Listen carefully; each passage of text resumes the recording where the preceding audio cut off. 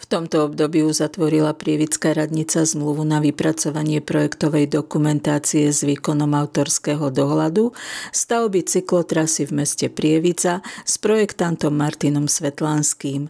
Cena tejto zákazky je viac ako 35 tisíc eur. Zámerom mesta je samozrejme rozširovanie cyklotrás, najmä v tom kontexte, že by sme chceli vlastne podporiť samotných cyklistov a celkovo rozvoj tej nemotorovej dopravy v rámci mesta a zvýšiť bezpečnosť cyklistov.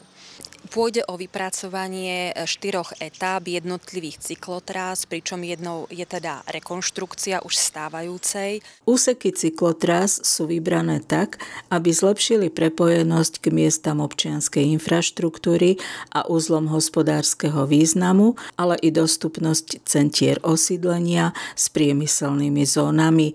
Projektová dokumentácia by mala byť hotová do 4 mesiacov od podpisu zmluvy. Následne budeme budeme obstarávať vlastne zhotoviteľa tých jednotlivých etáp a po vyčlenení financií v mestskom rozpočte by sme pristúpili i k samotnej realizácii jednotlivých projektov.